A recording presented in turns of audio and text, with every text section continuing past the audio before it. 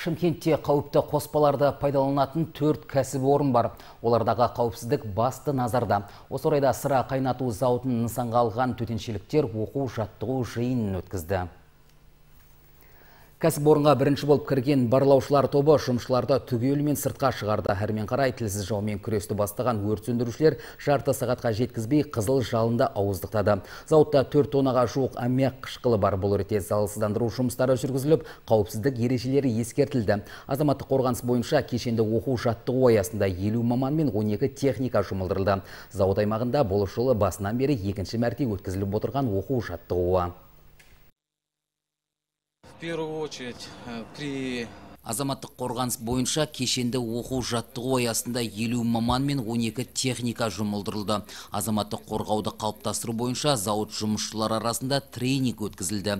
Бұл шараға азаматтық қорғау қызметі және зауыттың өзін қорғауды қалыптастыру өкілдері.